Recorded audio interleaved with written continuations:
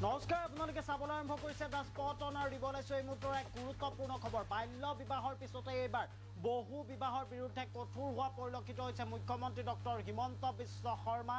আৰু বাল্য বিবাহৰ যিহেতুকে ইতিমধ্যে একশ্যন চলি আছে অভিযান বৰ্তমান সময়ত অব্যাহত আছে আৰু অতি শীঘ্ৰে বহু বিবাহৰ বিৰুদ্ধে অভিযান চলাৰ পূৰ্ণ সম্ভাৱনা আছে। যিহেতুকে মুখ্যমন্ত্ৰী ডক্টৰ হিমন্ত বিশ্ব শৰ্মাৰ নেতৃত্বাধীন বিজেপি চৰকাৰখনে অতি কম দিনৰ ভিতৰত এতিয়া বহু বিবাহৰ বিৰুদ্ধে এখন আইন প্ৰণয়ন কৰিবলৈ যত্ন কৰি আছে। এখন আইন প্ৰণয়ন কৰিব শাসনাধিষ্ঠ বিজেপি চৰকাৰখনে। আৰু ইয়াৰ পিছৰে পৰা এগৰাকী যদি আপোনাৰ পত্নী আছে তেতিয়াহ'লে আপুনি আৰু এগৰাকী মহিলাৰ সৈতে বিবাহ পাশত আবদ্ধ হ'ব নোৱাৰিব। এই আইন প্ৰণয়ন কৰিব এতিয়া মুখ্যমন্ত্ৰী ডক্টৰ হিমন্ত বিশ্ব শৰ্মাৰ নেতৃত্বাধীন বিজেপি চৰকাৰখনে এগৰাকী মহিলাৰ সৈতে এজন পুৰুষ বিবাহ পাশত আবদ্ধ হ'ব পাৰিব আহিছোঁ ফুল প্লেটৰ জৰিয়তে এই মুহূৰ্তত সবিশেষ দ্য স্পট অনৰ দৰ্শকসকলৰ বাবে বাল্য বিবাহৰ পিছতে এতিয়া বহু বিবাহৰ বিৰুদ্ধে একশ্যন হিমন্ত বিশ্ব শৰ্মাৰ এতিয়া হিমন্ত বিশ্ব শৰ্মা কঠোৰ হোৱা পৰিলক্ষিত হৈছে। এগৰাকী মহিলাৰ সৈতে বিবাহ পাশত আবদ্ধ হ'ব পাৰিব এজন পুৰুষ আৰু এগৰাকীতকৈ অধিক বিয়া কৰোৱা স্বামী। যাব লাগিব জেললৈ। সাজু হওক তেখেতসকল তেখেতসকল সাজু হোৱাৰ সময় আহি পৰিছে কিয়নো তেখেতসকল যাব লাগিব জেলত। জেলত যাব লাগিব তেনে স্বামী। আৰু দহ বছৰ পৰ্যন্ত তেনে স্বামীৰ হ'ব পাৰে কাৰাদণ্ড। যিহেতুকে দুগৰাকীকৈ মহিলাৰ সৈতে বিবাহ পাশত আবদ্ধ হ'ব নোৱাৰিব আৰু শীঘ্ৰেই আইন প্ৰণয়ন কৰিব হিমন্ত বিশ্ব শৰ্মাৰ চৰকাৰে। এই সন্দৰ্ভত হিমন্ত বিশ্ব শৰ্মাৰ চৰকাৰে শীঘ্ৰে আইন প্ৰণয়ন কৰিব আৰু এতিয়া দুগৰাকী বিয়া কৰোৱা স্বামীৰ বিৰুদ্ধে কঠোৰ হৈ পৰা পৰিলক্ষিত হৈছে মুখ্যমন্ত্ৰী হিমন্ত বিশ্ব শৰ্মা আৰু শীঘ্ৰেই চলিব পাৰে অভিযান যিহেতুকে বৰ্তমান বাল্য বিবাহ বিৰোধী অভিযান চলি থকা পৰিলক্ষিত হৈছে। বিভিন্নজন স্বামীৰ হাতত এতিয়া হেণ্ডকাফ লগা পৰিলক্ষিত হৈছে। বিভিন্নজন স্বামী এতিয়া ৰঙা ঘৰৰ আলহী হোৱা পৰিলক্ষিত হৈছে যিহেতুকে অসমৰ বিভিন্ন প্ৰান্তত বিভিন্ন কেইখন জিলাত এতিয়া অভিযান অব্যাহত ৰাখিছে অসম আৰক্ষীয়ে যিহেতুকে মুখ্যমন্ত্ৰী ডক্টৰ হিমন্ত বিশ্ব শৰ্মাই কাঢ়া নিৰ্দেশ দিয়া পৰিলক্ষিত হৈছিল। মুখ্যমন্ত্ৰী ডক্টৰ হিমন্ত বিশ্ব শৰ্মাৰ কাঢ়া নিৰ্দেশৰ পিছতেই আৰক্ষী প্ৰশাসন কঠোৰ হোৱা পৰিলক্ষিত হৈছে। আৰু তেখেতে বাল্য বিবাহ বিৰোধী অভিযান চলোৱাৰ প্ৰাক মুহূৰ্তত তেখেতে উল্লেখ কৰিছিল যে বহু বিবাহৰ বিৰুদ্ধেও তেখেতে একশ্যন গ্ৰহণ কৰিব আৰু তাৰ পিছতেই আজি এক বৃহৎ ঘোষণা কৰা পৰিলক্ষিত হৈছে। এজন পুৰুষ কেৱল মাত্ৰ এগৰাকী মহিলাৰ সৈতে বিবাহ পাশত আবদ্ধ হ'ব পাৰিব।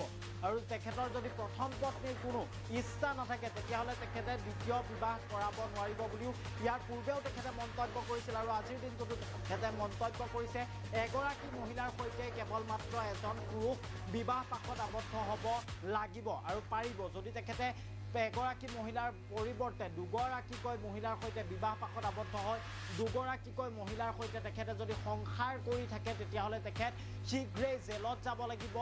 অভিযান আৰম্ভ হ'ব আৰু মুখ্যমন্ত্ৰী ডক্টৰ হিমন্ত বিশ্ব শৰ্মা যিহেতুকে কঠোৰ হোৱা পৰিলক্ষিত হৈছে ঘৰৰ পৰাই আৰক্ষীয়ে দৰাচলতে তেখেতক তুলি আনিব আৰু দহ বছৰৰ বাবে কাৰাদণ্ডত কাৰাদণ্ডৰে দণ্ডিত হ'ব লাগিব সেইজন স্বামী। যিহেতুকে এতিয়া মুখ্যমন্ত্ৰী ডক্টৰ হিমন্ত বিশ্ব শৰ্মা বাল্য বিবাহ তথা বহু বিবাহৰ ক্ষেত্ৰত কঠোৰ হোৱা পৰিলক্ষিত হৈছে। এই মুহূৰ্তত জনাইছে গুৰুত্বপূৰ্ণ খবৰ এক বিগ ব্ৰেকিং নিউজ বুলি ক'ব লাগিব। কিয়নো বাল্য বিবাহৰ পিছতে এতিয়া বহু বিবাহৰ বিৰুদ্ধে একশ্যন হিমন্ত বিশ্ব শৰ্মাৰ। আৰু এগৰাকী মহিলাৰ সৈতে বিবাহ পাশত আবদ্ধ হ'ব পাৰিব। এজন যুৱক আৰু এগৰাকীতকৈ অধিক বিয়া কৰোৱা স্বামী সাজু হওক কিয়নো যাব লাগিব জেললৈ। দহ বছৰ পৰ্যন্ত তেনে স্বামীৰ হ'ব পাৰে কাৰাদণ্ড আৰু শীঘ্ৰেই আইন প্ৰণয়ন কৰিব হিমন্ত বিশ্ব শৰ্মাৰ চৰকাৰে। আৰু এতিয়া দুগৰাকী বিয়া কৰোৱা স্বামীৰ বিৰুদ্ধে কঠোৰ হৈ পৰিছে মুখ্যমন্ত্ৰী হিমন্ত বিশ্ব শৰ্মা। শীঘ্ৰেই চলিব অভিযান আৰু অভিযানত আয়ত দৰাচলতে কৰায়ত্ব কৰা হ'ব।